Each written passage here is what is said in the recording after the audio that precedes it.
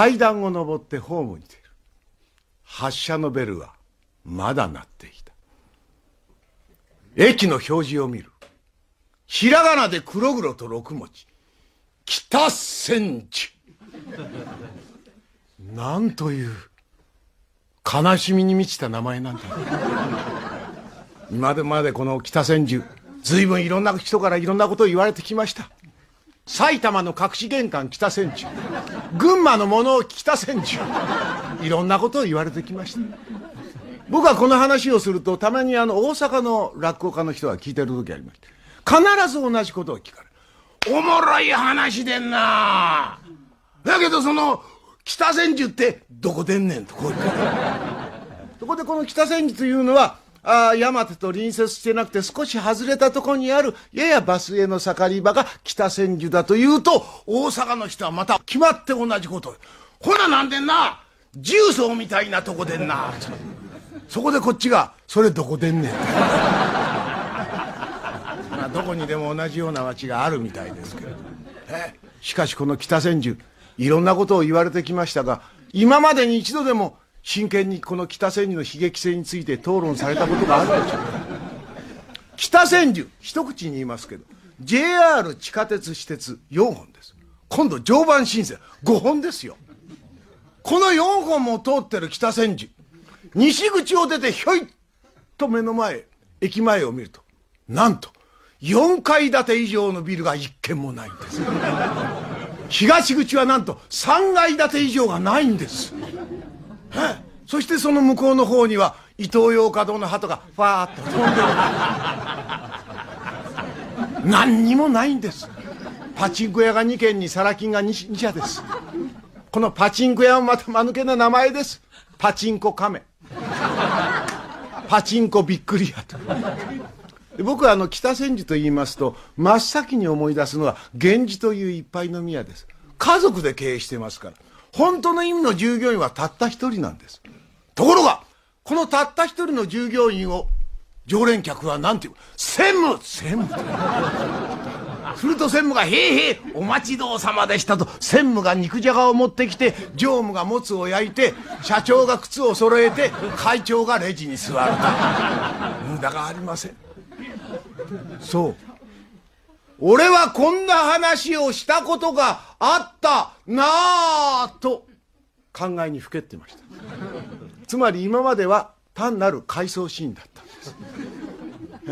だったらお前そう言えよという。最近はですねお客さんの質の低下が叫ばれてました。これを言わないと理解してくれないお客さんがいる。だったらお前芸の力でカバーしろ。最近はですね芸人の芸の質の低下が叫ばれてとてもそんな力があります。そこで申し上げたわけです。あれから18年経ちました。北千住は大きく変わったんです。さっきのパチンコ屋ですら変わったんです。まずパチンコ亀潰れました。当然です。そしてパチンコびっくり屋びっくり屋パート2にバージョンアップした。んですしかも西口と東口に2軒あって2軒ともびっくり屋パート2なんだじゃあパート1はどこへ行ったの？これを聞いてはいけない。これが理論と常識を超えた北千住なんですこのパチンコ屋の変化など全体の変化から見たら取るに足りません。何といっても最大の変化は北千住を知らない子供たちが育ってきたんです。北千住と言いますともう昔は駅前は必ず早足で通り過ぎると決まった。いかん。北千住の駅前だ。こんなところを人に見られでもしたら私の経歴に傷がつく。逃げろピューと逃げたんです。これを人に見られると本当に経歴に傷がついた。履歴書に書き込まなければいけない。懲罰なし北千住ありってこういうふうにところがですね今や若者たちが六本木とか原宿に同じ感覚で北千住の駅前をたむろするように。これは何でしょう？実はあの北千住に駅ビルのルミネが建ったんです。新宿にある川崎にあるあの横浜にあるルミネが建ったんです。北千住言いますとあの一時駅さえ見れば発作的にビルを建てると言われているあの丸いのクレジットすら思いとどまった。いかん。ここに立ってはいかん。理由はないがとにかくいかん。やめたんです。それをルミネは何を土地かダーンと生きびろうた。同時に地域再開発。商店街の名前まで変わってしまう。今までは北千住西口商店街というもう今は全然違います。北ロード1010おしゃれですよ。1010ですよ。これは何か？千10という。単なるダジャレだったんです。その他朝日商商店街北千住三ロード。え？そしてついに今年になってたまりかねたあの丸井がついに立ってた。んですえですからもう今北千住はですね大にぎわいです。こう言うとですねお客様の中に素朴な疑問があると思います。バカ野郎この野郎。そんな北千住なんか誰が買い物するんだ。お教えしましょう。誰がするのか。うちの家族が言ってますもう北千住というともう足立区民にとってはもうねもう水の都ベニスのようなと。普段は綾瀬に買い物行くんですけども北千住行く時はもうちゃんと清掃していきます。そしてさらにあの上野とか銀座へ出る時は必ず我々は言うんです。今日は東京へ行ってくると。東京都民にもかかわらずですよ。19時43分発。準急新栃木行きの発車のベルはまだ鳴ってこの北千住やっぱり変わってきました。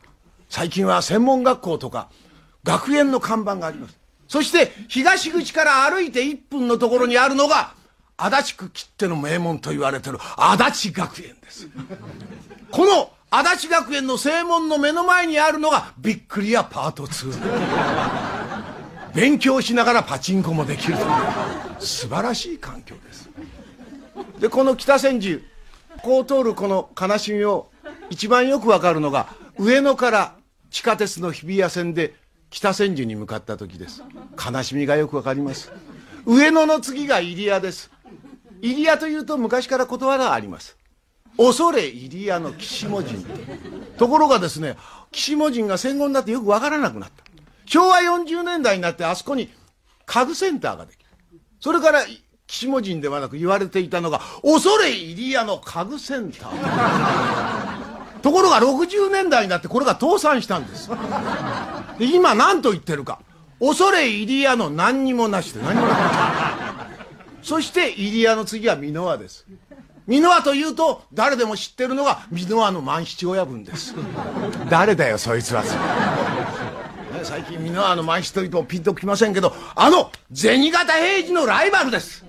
素晴らしい特技がありますね。事件があると真っ先に踏み込んでって必ず犯人じゃないやつを捕まえる。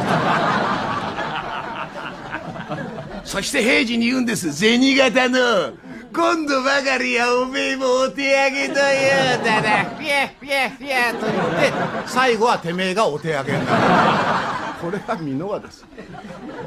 箕輪の次が南千住です。そして北千住です。北千住からは埼玉に向かい。そして北千住の次の小菅からは小菅の刑務所に行く。これが悲しくなくて何が悲しい？まあこんな北千住を通るのに一番ふさわしい電車は何といっても東武日光線ではないでしょうか。まず始発駅の浅草には観音様。途中の西新井には大師。終点の日光寺は東照宮。寺から寺へ。まるで四国の巡礼ツアーみたいなしかし東部も最近は経営努力してます。浅草の始発へ行きますと大きな電光掲示板出てますね。え浅草会津高原に4時間40分って誰が乗るんだそんなに4時間40分ですよ。プロ野球なら引き分け再試合になっちゃう。そしてまあ浅草と言いますと誰でも知ってるのが観音様です。この辺りに何か悲しみの源流がありそうです。あそこは松地抹茶が多いので有名です。いくつあると思いますか？47か。信心深いお年寄りが100円ずつお賽銭出したら4700円吸ってしまう。で横の方にはいつも露店が出てます。ここ10年ずっと出てるので金運を招く打ち出の小槌を売ってるおじさんでしかしそのおじさんどう見ても金運がありそうに見えない。じゃあお前うちで振ってろこの野郎。19時43分発準急新栃木行きの発車のベルはまだ鳴っていましたそうだ。今日は竹の塚から家へ帰ってみようか。電車に乗り込みました。そしてこのホーム。3年ほど前に一新しました。すごいです。まず地下の1階が地下鉄の千代田線です。1階が JR2 階3階4階が東武です。もう電車のもう総合デパート時々あの東武電車の中に中吊りの電車のマナー。電車のマナーの広告と言いますとね、え足を組むのをやめましょうとか、ね、え携帯の電源切りましょうって言うんですけど、ところがやっぱ東武は違います。大きな字で書いてありましたよ、この間見たら。やめましょう電車に石を投げるのは。そして、北千住の次が小菅です。小菅と言いますと、もうすぐ目の前に高知所があります。えよくあの駅前留学とか言うんですよ もうこ駅前高知所があるんですからですからこの小菅の改札を紙袋を持って降りると駅員さんが差し入れですか？ら、え。ー、まあ長くならないといいですね。なんという優しい駅員さんそして準急の最初の停車駅が西新井です。東武電車には昔からことわざがあります。降りるが勝ちという。先に降りた者が勝ち残された者は負けるんです。西新井でザラザラっとドアが開いてどんどん降ります。そして最後に降りる乗客が残された乗客を見てまだ乗るの。かやっぱりお前たちは埼玉県民だったんだな。俺たちは東京都民だ。田舎だな。残された乗客たちはこの屈辱にじっと耐えねばなりません埼玉のどこがいけねえんだこの野郎。俺のうちなんか一度合いの高級住宅地だぞお前。クレヨンしんちゃんのな竹の塚よりもっと東京寄りだこの野郎。32坪の高級住宅地なんだ。ところが一の愛でも全く同じことが。まだ乗る。どこ行くの？群馬か。栃木が田舎じゃね今日。群馬のどこが行けねえんだ俺やろ。俺のうちなんか89坪あるんだよ。柿の木が3本あってな。春になるとガマガエルが2匹出るんだガマガエルが。ガマガエル2匹しか自慢のできない男の悲しみが。一体誰に分かるというんでしょう。この降りるが勝ちが終点の新栃木まで続くと。悲しい悲しい電車です。19時43分発。準急新栃木行きの発車のベルはまだな準急の4つ目あたりの停車駅に越谷というのがここには越谷伝説という悲しい伝説が今に伝わっております。もう30年以上前ですか。あるサラリーマンが越谷に家を建てることになり両親に報告しました。お父さんお母さん喜んでください。僕今度越谷に家を建てることになりました。何？越谷？埼玉か！東部だろうなぜお前はそういう人の道に外れたことをする？何ですかそのお父さん。人の道。人の道もお前は知らずに大きくなったのか。人の道を教えてやろう。人の道はな中央線京王線小田急線。この3本だけが人の道だ。これが西武新宿線になってみろ。微妙なズレが生じる。東武なんか丸木それるんだ本当に。お前のようなさはもう息子じゃない。とっとと出てけ。で母さんそんなこと言わないだろ。いえ。埼玉に住むような子は産んだ覚えはありま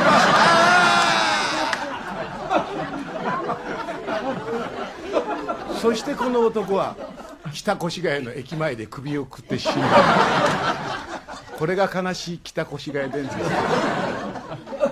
東武線を乗ってると時々見かけるのが田んぼを埋め立てた荒れ地を見ることがあります。ここに真っ先に20センチぐらいの見てくれのよくない黄色い花で貧乏花が咲きます僕は地元の子供からおおじちゃんダメだよそれ触ると貧乏になっちゃうから。でも本当だったんです。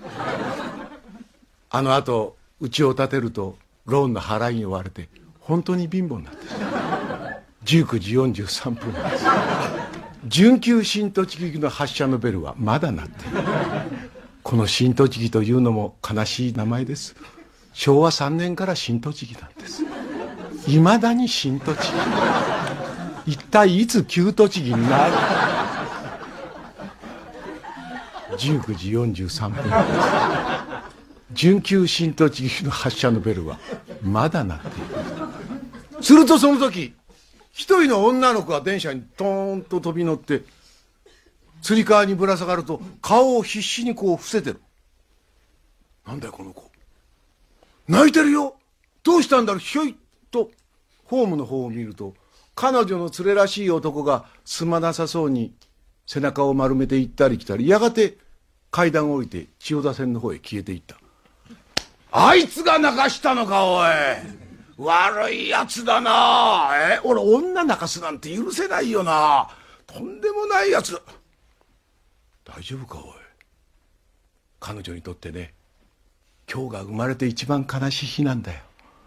ねこの二人は北千住の専門学校かなんかの生徒同士なんだよ。ああ。で越谷の先の大袋あたりにお母さんと一緒に住んでる。駅を降りると彼女は寂しさに耐えかねて駅前の果物屋でリンゴを一つ買う。それをまるで別れた男のように大事に持って帰る。すると自宅はお母さんが改造してカラオケスナックを横の小さいドアで階段を上るドアからガチャンと入るとその音を聞きつけたお母さんがカウンターの後ろの小さいドア開けて「知恵かい？あのさご飯作っていたからチンしてお食べ」娘は心配かけまいとして勤めて明るく振る舞って「うんうん今日さあのなんか信長ラーメンとかって変なラーメン食べちゃってこれからあのやることもあるしあの食べなくていいの。そうかい。じゃあおやすおやすみなさい。何？ママの娘さんちえちゃんつうの？へえ明るくていい子さ。あいやもう本当にもう私の娘なんだから。いやいやいや。彼女は部屋に入って襖をピシッと閉めたし全身の力がずるずるずるずるずると。やがて彼女は気を取り直して引き出しから果物ナイフを取る。そしてリンゴを少しだけ剥くと別れた男のことを思い出して涙する。それをこらえてまた剥く。また涙。また剥く。また涙。また剥く。また涙。何度かやってるうちに彼女の目には涙がいっぱいあふれもうリンゴが見えなくなる。彼女はリンゴを剥くことを諦める。ゴロゴロゴロゴロ。そして彼女の目にはもう溢れた涙の中にただナイフのギラギラとした輝きだけが飛び込んでくる。そこで思い思い喉にぐさ血がブサーこうなったら大変だ。こうなると俺優しさおじさんになっちゃう。どうしたんだい？何か悲しいことでもあったんじゃないのかい？大丈夫かい？おじさん実は私男に捨てられたの。そうか。いいんだよおじさんなんか随分捨てられたことあるんだから。気にすることなんかないよ。うん。大丈夫か？送ってってやろうか？